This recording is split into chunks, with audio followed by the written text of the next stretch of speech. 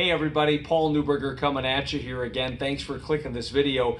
Uh, always wanting to keep you guys informed with all the developments going on with the American Heart Association Heart Walk. As you guys have already heard me repeat thousands of times, we've got an all-time record goal for this area. What's our goal, by the way, Katie? 1.75 million dollars. Million, million with an M. We've never raised that kind of money here for the Milwaukee Heart Walk, so it's very exciting to be a part of that. But this is one of these things that, as chairman, sure, I love you know being in the role that I'm in. I get to do and you know what I can do and use my talents to the fullest extent possible. But I cannot do this alone and I've surrounded myself with some of the finest human beings I've ever met. This young lady right next to me is certainly in that category. I'd like to introduce you to Katie Kohal of HellermannTyton. How are you doing, Katie? I'm doing great. How are you? Awesome, awesome. So Katie is one of these very special people that is elected to serve in this capacity. Believe me, she is not hurting for things to do. She's got a lot going on personally and professionally, but she has really grabbed the bull by the horns and made this a cause that she cares about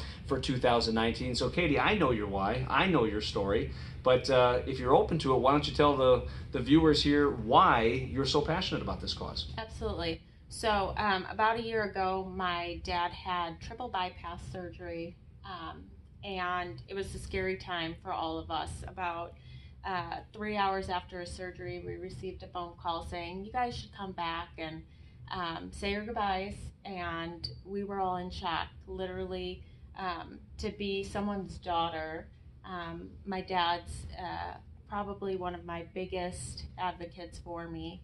Um, to hear those words is really scary. And so, um, luckily, it ended up being okay, but it was definitely a wake up call. Yeah. Um, and definitely something that I became more passionate about after learning that so many people are affected by heart disease and stroke. Yeah, How, how's Dad doing right now? Dad's doing great. He's lost lost weight, changed his appetite, and uh, on the mend to recovery. Awesome. Yeah. Well, and you know, in as scary of a situation as that is, you know, at least it, it had a, a positive ending. There's there's a lot of people that I've met. I know there's a lot of people that you've met where the doctors say say your goodbyes, and it turns out that is the goodbye. So so thank God that, that Dad's on the mend. One of the things that I wanted Katie to share as well, in addition to her passion, which is was evident, is how we've met. I mean, we met under a very interesting circumstance. You want to share that story real quick? Sure. Um, so I had listened to Paul speak at the Heart Walk last year, and I was just so overwhelmed by his goal of raising this much money and thought, he can't do this on his own.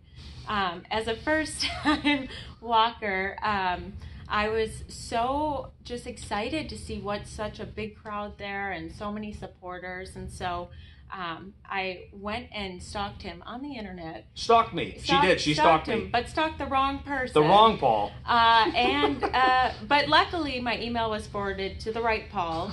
And um, you know I was just so grateful that I could offer some ideas because there are so many great things that the American Heart Association does and so many great things that you're doing. Mm-hmm. Um, that I really think that this event could be way bigger um, than what it is. Yeah, and so Katie obviously has to work on her stalking skills, but but one of the things that, that was very impressive to me was when she said I, I, sent Paul an email and it got forwarded to the right Paul and everything else. This wasn't an email, an email. This was a novella.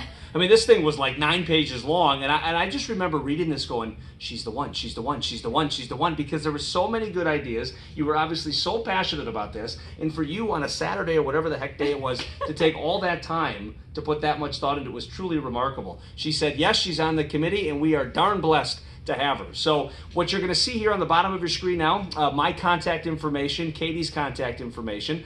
Uh, Katie is a force of nature. She's the youngest person on the committee, and it, it's really pretty interesting to see somebody with her background, her experience at this time of her life, really fitting in and, and bringing an awful lot of value. So we're very fortunate to have you. Her contact information, my contact information. If you want to volunteer for the event, if you want to donate to the event, if you want to take us out for coffee and tell us how great we are for doing something like this, whatever the case is, we want to hear from you. This is not the last time you're going to hear from Katie. We're going to do other videos and announcements like this. So, Katie, just on behalf of myself and all the people watching this, thank you for taking time to do this, and I really look forward to working with you. Thank you. Appreciate it. Thanks, everybody.